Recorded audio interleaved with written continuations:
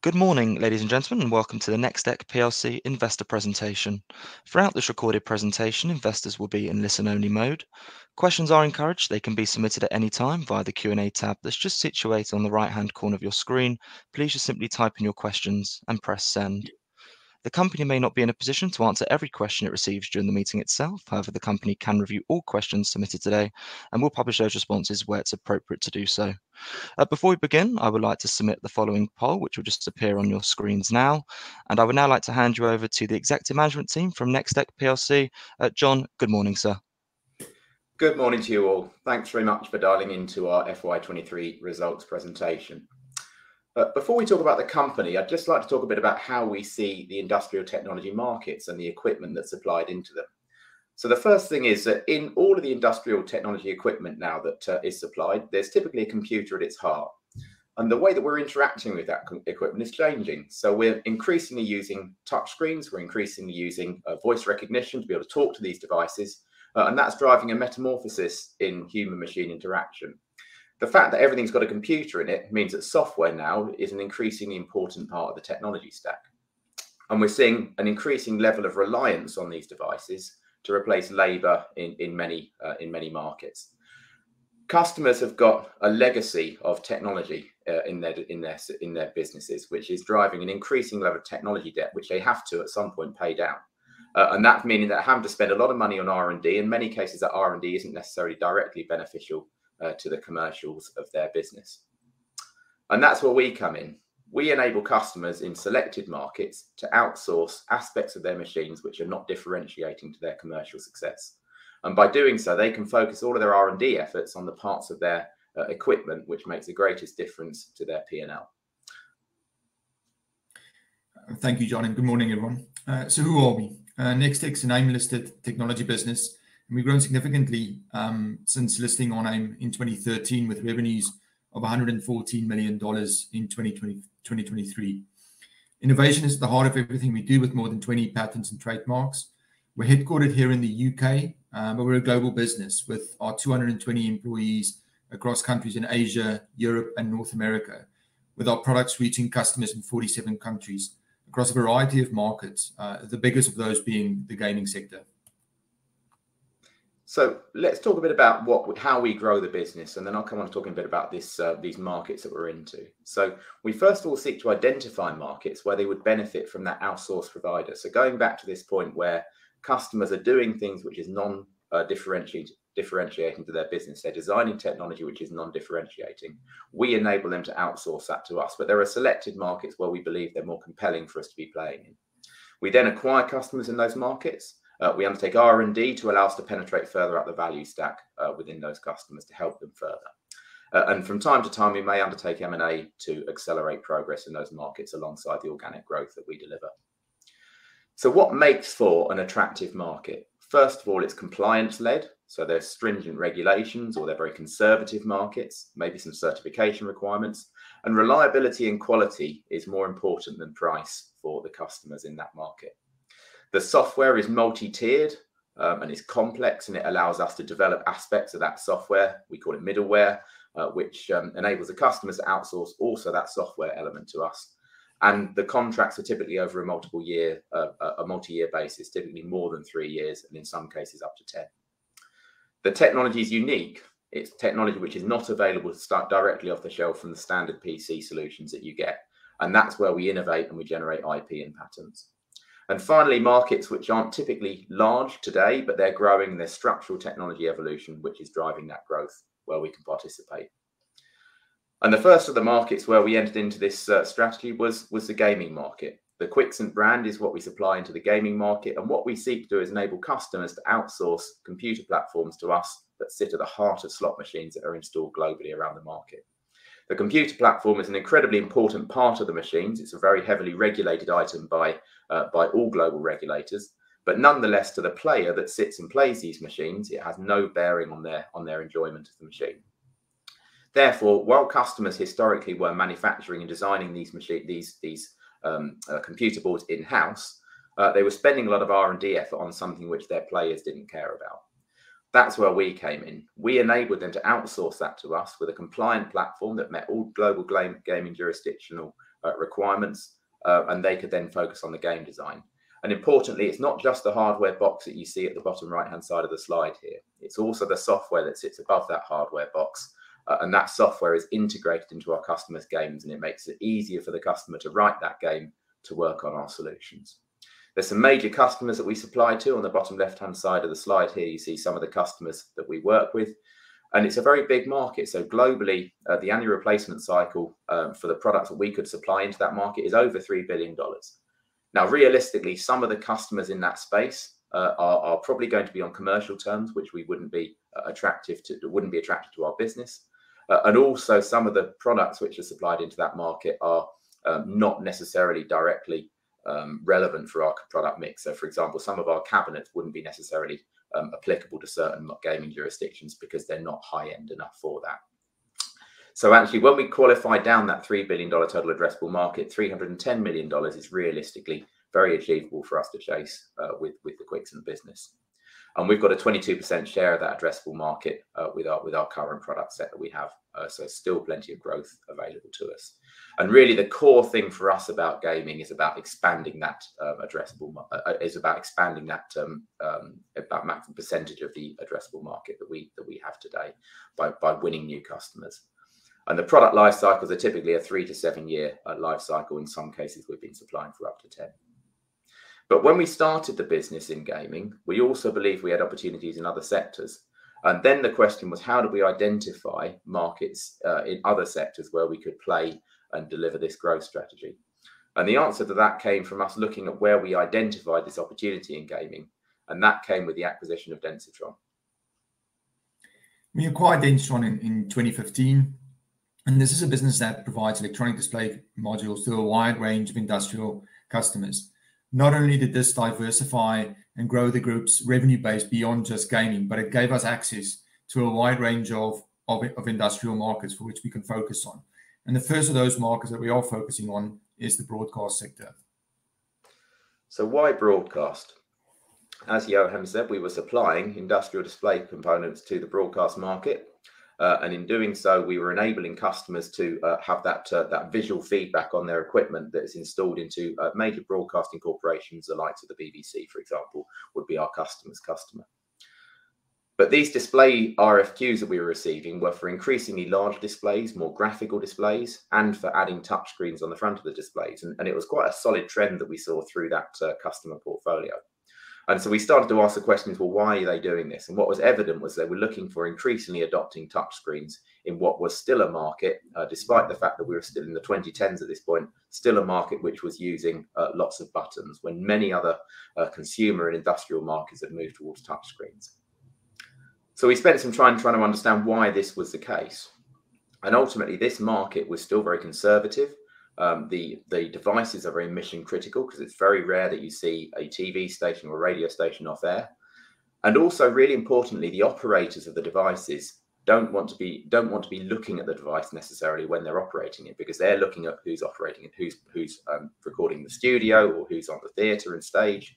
So those those uh, as operators need to be able to feel where their fingers are on the device, and this is why they like the buttons so much the buttons though were antiquated and it meant you had a lot of buttons and the buttons were single purpose. So what we sought to do is to enable the best of touchscreen technology with fantastic displays that sit behind them, but with buttons that are overlaid on them or rotaries which are overlaid on them, which allow the customer to be able to feel uh, those those objects um, alongside seeing them, but still with that wonderful reprogrammability and flexibility that, that uh, a touchscreen offers.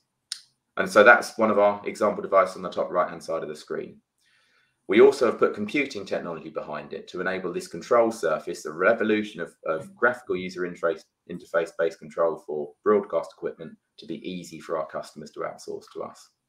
The market, um, $220 million worth of addressable market that we believe we can access with our current product portfolio today. Long buying cycles, so five to so three to seven year buying cycles for the broadcast equipment, um, and a typical ASP of over $1,000, considerably higher than the rest of the Densitron business and at much better margins. And we've got a very small uh, proportion of that addressable market, um, only 4% today based on our revenues, and that's been growing double digit year, on year. So that's a bit of a background around the business. Um, I'm going to come on to talk a bit about now um, how the year has been in FY23. So it's been a year where i am really pleased to say I've had significantly improved profitability and cash flow, and also a resilient revenue performance in the context of what is a very difficult macro environment, um, and there's been high interest rates, high inflation, uh, and just sort of customer sentiment has been weakened uh, by by the sort of the, the, those macro factors. We've also seen customers going through a destocking trend, something that's very common in many technology companies. Uh, but despite those those uh, sort of headwinds, we've been able to grow volume in the strategic gaming computer space and the broadcast sectors. Uh, and that with significantly improved profitability, both at a gross margin level as the product mix um, has improved, and as we've been able to take advantage of some of the, the uh, improvements in input stock costs. Uh, and that's allowed us to recover our margin back to, to more normal levels uh, compared to the sort of the drawdown we had in, in more recent years as supply chains were dislocated. We have seen lead times um, easing as well, which has been a, a, a much easier uh, supply side um, challenge for us. Uh, and that's allowed us to um, to to, to um, take advantage of that uh, of that lower stock level that we have uh, coming out of the year. The order book though is also normalised, and again, many other companies are reporting the same kind of thing. So we've now got five months worth of visibility of 2024 revenues when we entered the year. Uh, and uh, but it remains strong and gives us confidence for this year's uh, financial performance. We also um, generated good cash flow through the year. So we have a strong net cash balance entering the year, and that's been enhanced. And that strong net cash balance allows us to take advantage of both organic growth in our core markets and to take advantage of acquisitions to accelerate that organic growth. Moving on to some of the financials then, and starting with the 2023 KPIs compared with 2022. Just pulling out some of the highlights here. Uh, gross margin, 36.3%, as John said, significantly up on the prior year. Now back at historic highs, and in fact, this is the, the best gross margin performance for the business since the Densitron acquisition in 2015. Profit before tax up 45% to 14.7 million. And then just an excellent cash performance this year with conversion of 142%, driving our net cash balance up uh, to a record of 27.9 million at the end of 2023. Moving on to the income statement, and just pulling out a few points here. Um, revenues down 5%, and I'll get into that in a bit more detail by division in later slides. But um, overall, uh, volumes in our gaming and broadcast sectors did increase despite the overall decrease in revenues. We also saw a more diversified revenue base, with revenue from our top 10 customers at 51%, down 56% um, uh, in the previous year. Operating expenses were down about $1 million or 4% year-over-year as we benefited from smaller FX movements alongside good cost control. Uh, we earned $500,000 on finance income as we made the most of those higher cash balances, putting putting cash on deposit to earn the best possible rates. And then just to point out around EPS, you can see there EPS in line year-over-year despite the increased profits. Uh, now, that's due to the change in effective tax rate. So in in 2022, we had um, a tax credit of $2.2 million. This was due to a deferred tax asset that we recognized on taxable losses that we have available to us here in the U.K., which resulted in that sort of exceptional tax credit. In the current year, we had a more normal tax charge of $2 million or just shy of 16%, uh, which tempered the growth on our EPS. Had it not been for that tax change, our our EPS growth would have been in line with our with our profit growth. Moving on to revenues and starting with Quixant that serves the gaming industry. Um, revenues of just shy of $35 million in the second half of last year, in line with the first half as growth was tempered by customer push-outs and product mix changes. Pleasingly, within um, the overall Quixant revenues, our core gaming platform sales our volumes there increased by 5% year-over-year. We saw particularly high demand for our cost-effective and mid-range products. Now, we make the same margin across all of our gaming platforms, um, but because of the higher relative sales of the cost-effective mid-range products, it did see the overall ASP decline by 4% year-over-year. So we move to Densitron, um, and a resilient performance by Densitron in what was a challenging market, um, a challenging year across across industrial markets. 45.1 million, broadly in line with the prior year, which was a record year for Densitron. And what was particularly pleasing on the Densitron performance was that higher, sorry, those revenues came at much higher gross margin and overall profitability in the uh, in the Densitron business. And then specifically within the focus broadcast sector within within Densitron, um, revenues of $8.4 million, up um, 12% year-over-year. Um, and that business now doubled over the last five years. And just in terms of that growth over the last year, that 12%, that came in spite of some of the the broader slowdowns we saw in industrial markets, which also impacted Uh, the broadcast sector. And the broadcast sector, revenues are also delivered at margins ahead of the ahead of the rest of the Densitron business. Staying with our gross margins, and as I said, um, margins up significantly year-over-year um, to 36.3%. Uh, you can see their margins impacted in 2020 and 2021 by component price inflation due to the supply chain constraints uh, experienced in those years. And the improved margin performance in 2023 was in part due to recovery um, or a stabilization in the component prices, which allowed our gross margin to recover as the price rises that we put through in 2021 and 2022 came through the P&L.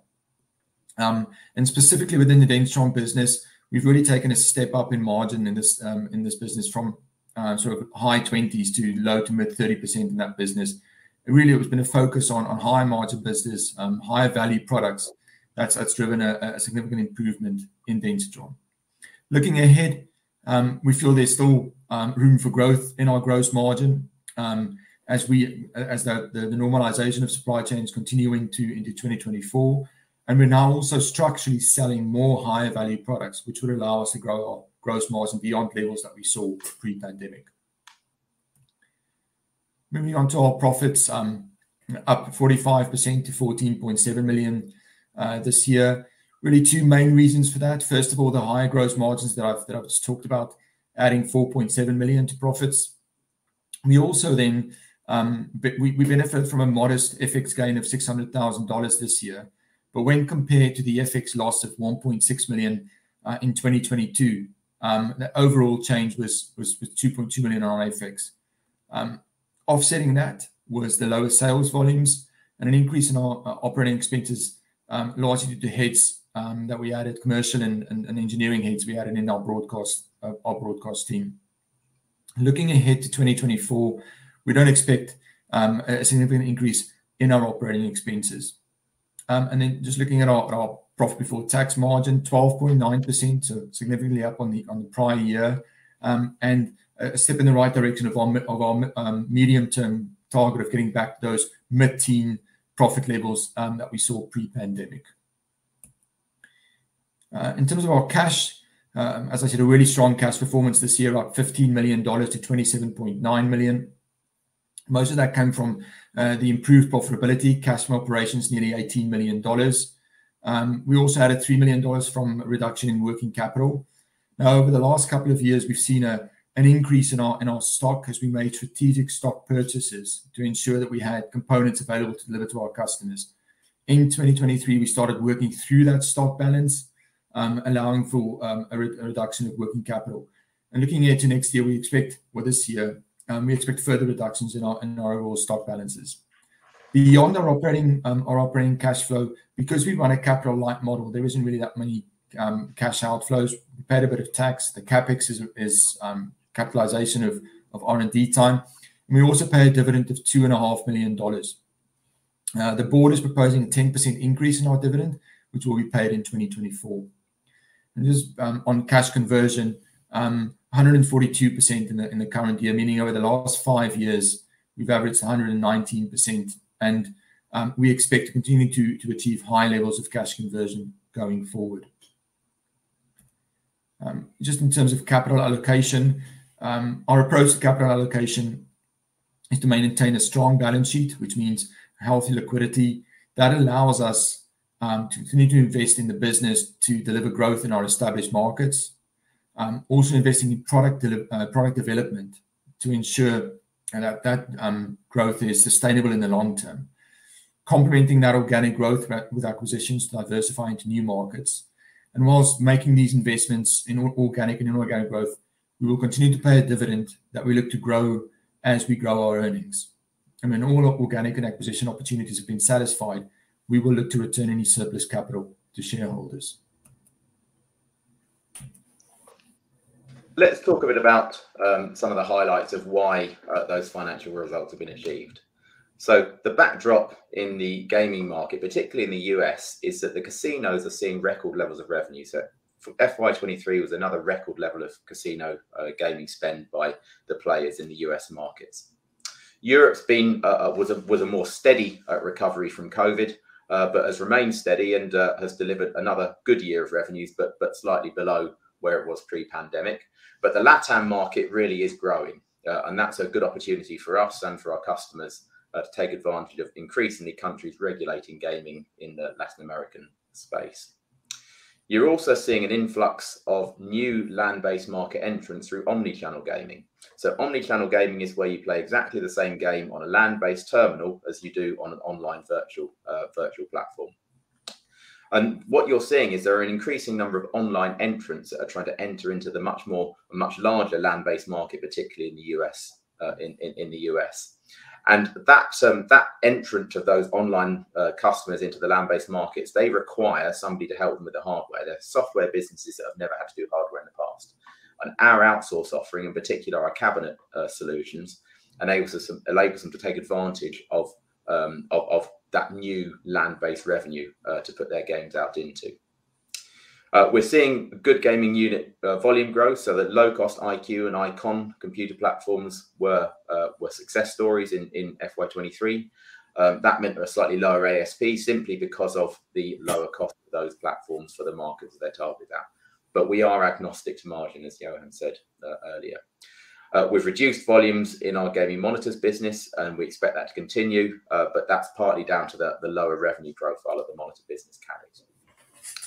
Within broadcast, uh, we invested into that business in the second half of 2022, uh, and we saw an acceleration of order intake on the back of those investments through the second half of last year with key orders from some major customers that are called out on the slide here. Importantly, the margins that we get from that broadcast business for these higher value products are at higher levels than the rest of the Densitron business, and we are still uniquely positioned uh, within broadcast to provide these turnkey control solutions for the broadcast equipment market. In other industrial sectors, uh, where we supply Densitron's display components to them, we see softer demand in FY 2023, uh, and we expect that to be something that continues going forward as the customers continue to go through destocking uh, and see weaker business confidence. And we are seeing margin performance, however, at record levels. So the Densitron business has done really well to reprice all of its customers and get margins up to levels that are much better than they were historically, and that's compensating somewhat for that revenue weakness Uh, that we see just with that broader macro uh, theme of uh, industrial market softness. And we've also seen some evidence of some of our Asian competitors failing, um, and that's really just driven by um, the the 2023 sort of inflection that we went from a supply-constrained market to a demand-constrained market. Some of those competitors have now struggled to continue in business because they operate on such low margins. And so that's an opportunity for us to win extra business. So some of the new products we've launched. So in the in the Quixant business, we've launched two new uh, products in the last 12 months. One is called the iQ2 and one is the iCON2. What's the so what about these products is that first of all, they're based around Intel, uh, which is a very reliable and very stable uh, processor to be at the heart of them, and that new processor has a much better set of graphics capabilities than its predecessors. But also that they're repriced around a set of components which has been available since the um, since the 21 and 22 dislocation supply chains. And that means that they're at a much more compelling price point than their predecessors. Uh, and therefore, we've seen really good demand for them. And actually, if I take iQ2, we had 48 sample leads at ICE, which was a major gaming show in February this year. That's a really exciting product launch, and we're well-positioned now to target the LATAM route markets and some of the more uh, mid-tier markets with these two new product launches. Over onto the Densitron side, Taktila, uh, we launched smaller Taktila rotary controls. Uh, these smaller controls allow us to expand the market applications uh, that we can roll Taktila out onto. Uh, a main reason for that is because the old controls were much larger, and they wouldn't fit onto certain pieces of equipment, but these new controls now enable that. So really pleased with how we're positioned on the product portfolio to take advantage of the commercial opportunities we see in the business. And here's a really a really good example of our of our control solutions in broadcast in action. Um, we are um, installed into equipment which is being used at major sporting events, and you can see two uh, names here that you probably know of. Uh, the NFL, um, our, our, equipment was used for the uh, the game screening rooms uh, to control uh, those screens, and it's been also used at the Paris Olympics by one of our customers. And that goes back to a, a pitch that we did in 2022 um, to demonstrate our, our control solutions, which include, importantly, a software stack that makes it easy to design these these these control panel GUIs uh, and that's used in these really high profile sporting events. So this is fo focusing on our on our manufacturing operations. So we do all of our electronic product manufacturing through sub subcontractors in in Asia, with components supplied from Taiwan and China. So, but cognizant of the geopolitical tensions in that region, we made the decision in 2022 to explore a, a second um, manufacturing facility. And in the fourth quarter of last year, we had our first mass production run of a product in our second facility in um, in Malaysia. And it was really an incredible effort from the team to go from initiation through yield testing to production in just nine months. Looking ahead to 2024, we will look to increase um, the manufacturing in Malaysia with both with, with, with um, production of both our Quix and the Densitron products done through our Malaysian and Taiwan facilities. Um, and then also just pointing out on our, our gaming cabinet manufacturers, um, we have an existing relationship with a manufacturer in the U.S. serving our customers in North America. And in the fourth quarter of last year, we entered into an agreement with ELAS, a respected Bosnian gaming cabinet manufacturer, uh, to support our customers in Europe. And then just finally on the right, um, in terms of our core processes, um, we now also have Intel and NVIDIA to complement our existing AMD um, relationship, so a broader range of core processes available. So in summary, um, last year we delivered a really resilient revenue performance with volume growth in the core product offerings that we have in the gaming computer space and the broadcast space. Uh, we saw a normalized but still robust order book entering this year, and we delivered record levels of gross margin um, that uh, is continuing to flow through that P&L and had excellent cash generation. And in terms of what that means, so we're confident in the outlook of achieving FY24 market expectations with improved gross margins continuing and the focus on high quality revenue business being a part of our, our, future. Uh, and then also continuing strong operating cash generation. And that gives us um, the opportunities to take advantage of organic uh, and acquisitive growth um, supported by that strength of balance sheet. Uh, and we believe that overall, that set of ingredients gives us medium term opportunities for transformational earnings enhancement in the business. So why do I think we're interested in investment story? Well, those ingredients com combined with a, a, fully resourced and experienced management team, which has managed through a number of very difficult years, um, and also a very global business already. So we're in all those six countries that Johan uh, referred to. Uh, that gives us a great footprint to execute our growth strategy to leverage our core industrial computing expertise across new sectors, both through organic growth and through uh, acquisition. Thanks very much. That's the presentation. Um, I've got a number of questions that have come up, but please do ask any more uh, that you've got. Perfect. So, John, Johan, if I may just jump back in there, and thank you very much indeed for your presentation this morning. Um, ladies and gentlemen, please do continue to submit your questions just by using the Q&A tab that's situated on the right-hand corner of your screen. Uh, but just while the company takes a few moments to review those questions that were submitted already, I would like to remind you that a recording of this presentation, along with a copy of the slides and the published Q&A, can be accessed via your investor dashboard. Um, guys, as you can see there in the Q&A tab, we have received a number of questions from investors uh, throughout your presentation this morning, and thank you to all of those on the call for taking the time to submit their questions. But uh, John, Johan, if I may at this point, just hand back to you to address those questions where it's appropriate to do so, and then I'll pick up from you at the end. Thank you. Thank you. Yeah, we have got a lot of questions, so thanks very much for, for asking so many. So I'm just going to go through through an order actually. So first question is, do we have any pipeline M&A? Um, and, and, yes, we do. Um, so in terms of the M&A pipeline, we've been working on that now for about nine months. Um, it's uh, it's obviously a process of, um, of, first of all identifying as many participants in the market that meet some of the deal criteria. We'd want a company which is focused on uh, some of those uh, those sectors where they have the characteristics that I outlined at the beginning of the presentation. Uh, the right sizing, of course, ge geography, uh, synergistic with where we are today. Uh, so we've been working on that deal pipeline um, and filtered out a lot of companies clearly that didn't meet those criteria. Uh, but also we've got a short list of companies um, that we are that we are working on, and hopefully we'll be able to close uh, one of those during this year. But um, but that's something which is is continuing to be uh, to be to be picked up. Um, next question I've got: Which regions generate the most sales for broadcast? Uh, the U.S. is the biggest territory for selling into broadcast. Some of the customers, actually, there's two major customers in in Canada that are sold out of our U.S. office. That's Evertz and Ross Video. Um, but uh, yeah, the U.S. market is is the biggest opportunity for us uh, for the for the broadcast sector. Um, next question is: They're seeing good growth opportunities in both businesses, as you've outlined. However, broker forecast for FY24 revenue, PBT, and EPS are broadly flat. Do you see these forecasts as being very conservative? So I guess, um, if we sort of look at where where we are today, so the markets aren't in a great place. We have high interest rates. I think customers' confidence is pretty weak. Uh, we're not taking any heroic judgments on on, on where this year may be, um, at this stage in time. Um, we do expect a second half weighting, um, and that's not atypical for this business. That's been quite quite common.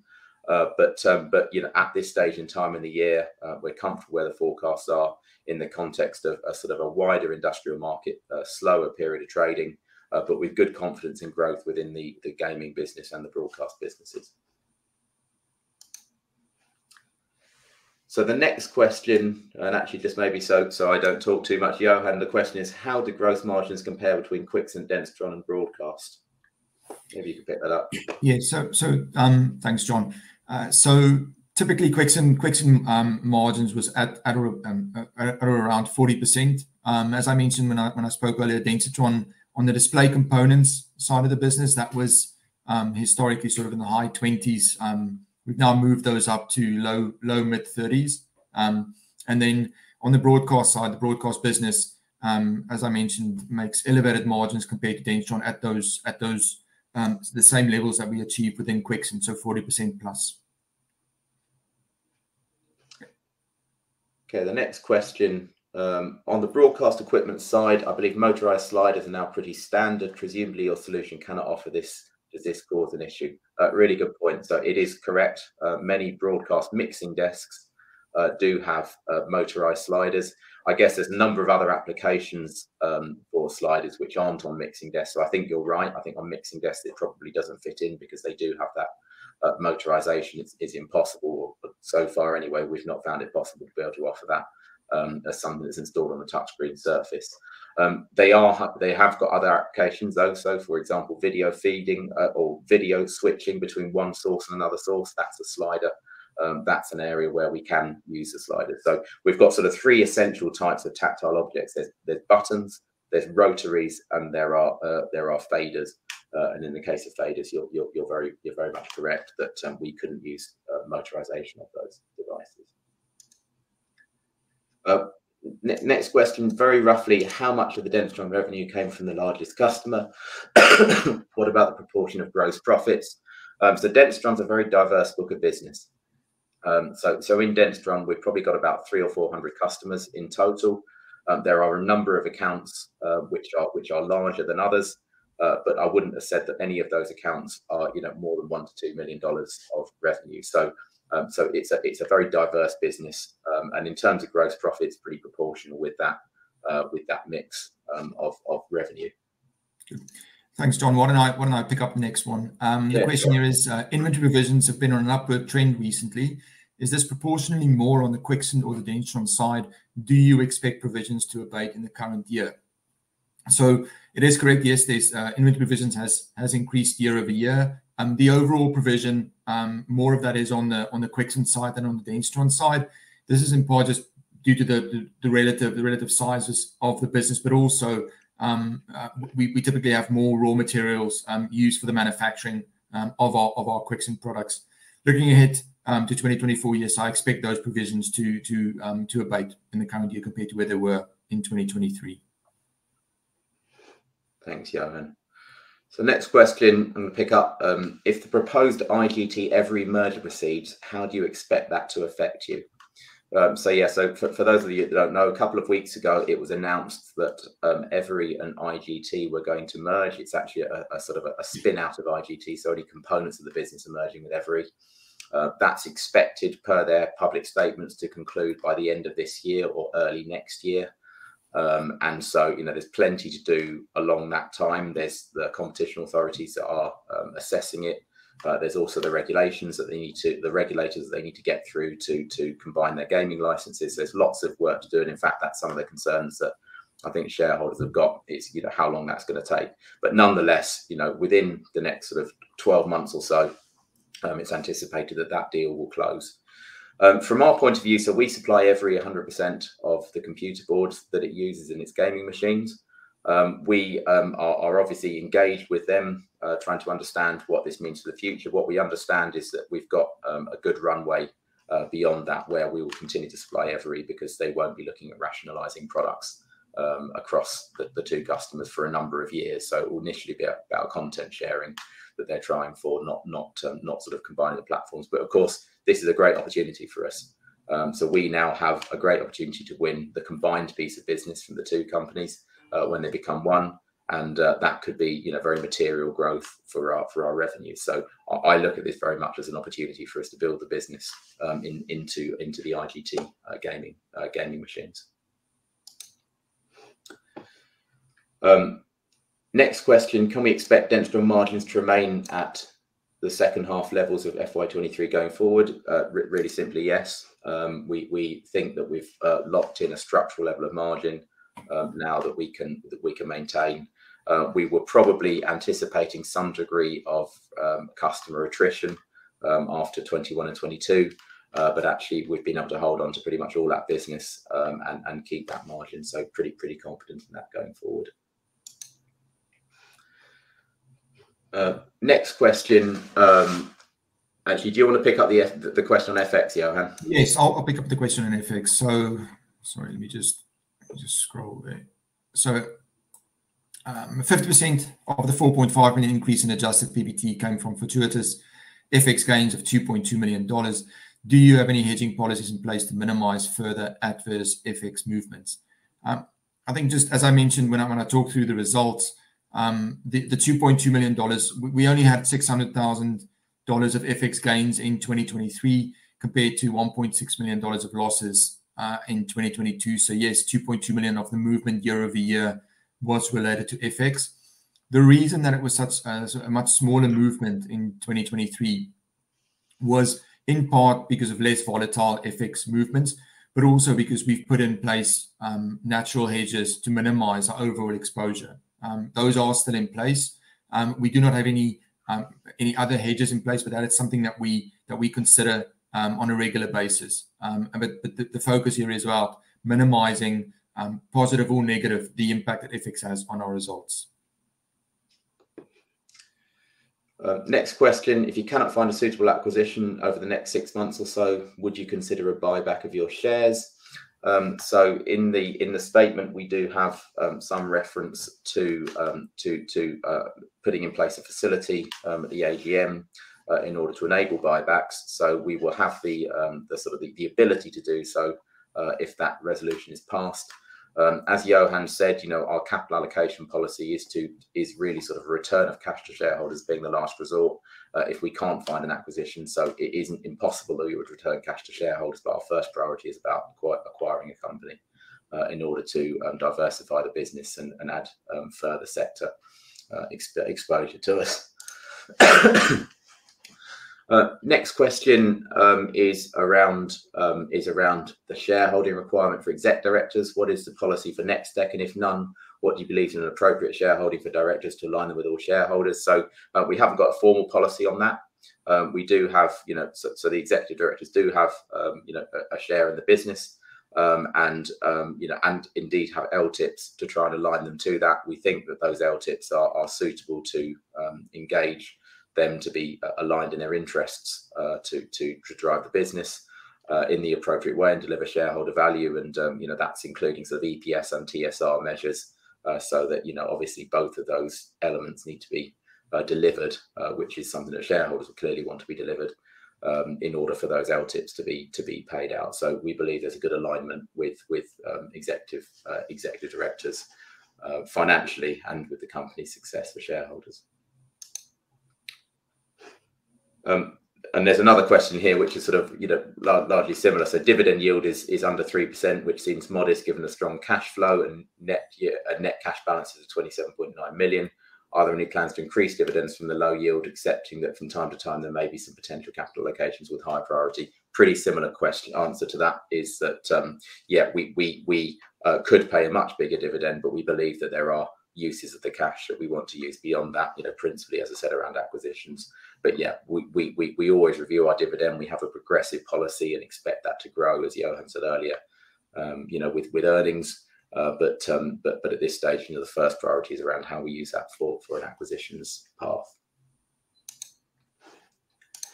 Uh, Densitron grew its operating margin from 10% in 2021 first half to 24% in 2020, sorry, 2023 first half to 24% in 2023 second half.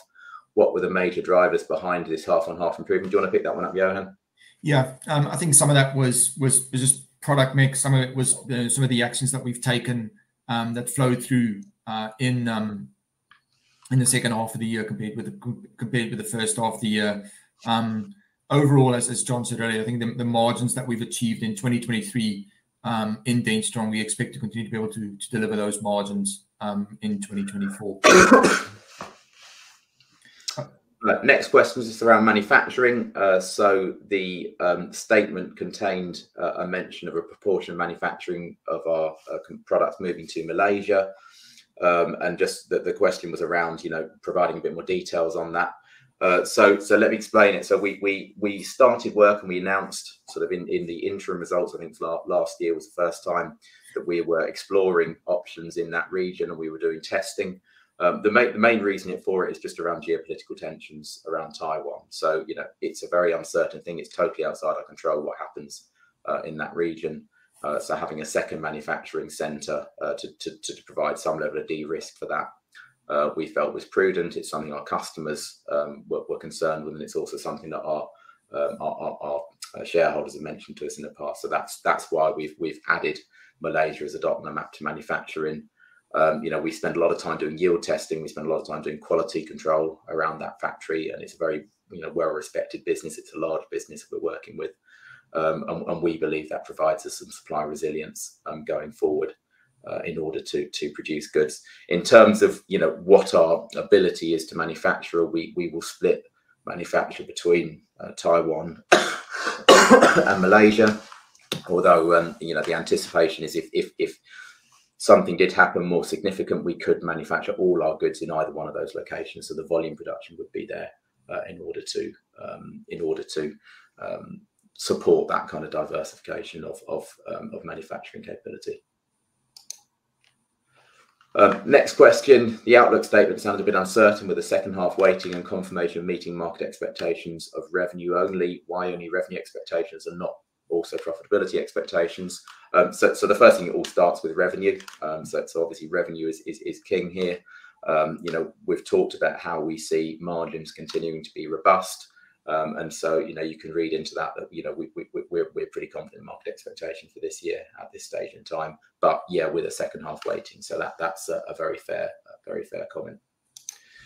And then next question, what shareholder value criteria do you apply when evaluating acquisitions?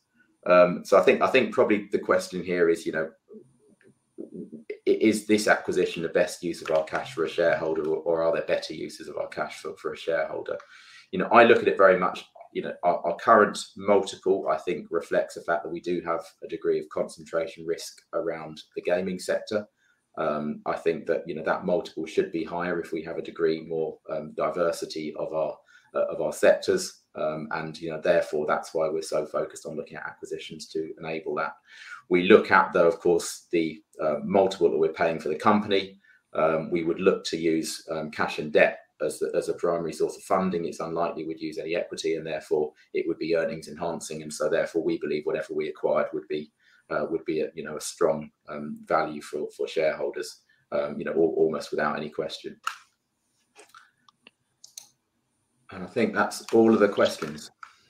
Absolutely, John, Johan, thank you very much indeed for being so generous of your time then addressing all of those questions that came in from investors. And of course, if there are any further questions that do come through, we'll make these available to you immediately after the presentation has ended, uh, just for you to review to then add any additional responses, of course, where it's appropriate to do so. And we'll publish all those responses out on the platform. Um, but John, perhaps before really just looking to redirect those on the call to provide you with their feedback, which I know is particularly important to yourself and the company, if I could please just ask you for a few closing comments to wrap up with, that would be great. Yeah, well, first of all, thanks very much for for a really extensive set of questions. Always good to good to have some engagement and, and some good questioning around the business. So we, we think we're, we're well positioned. Uh, we think over the medium term, uh, there's good organic growth opportunities.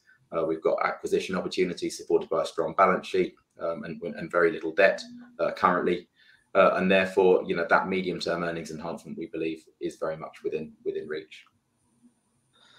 John, that's great. And thank you once again for updating investors this morning. Um, could I please ask investors not to close this session as you'll now be automatically redirected for the opportunity to provide your feedback in order that the management team can really better understand your views and expectations. This will only take a few moments to complete, but I'm sure will be greatly valued by the company. On behalf of the management team of Nexteq PLC, we would like to thank you for attending today's presentation. That now concludes today's session. So good morning to you all.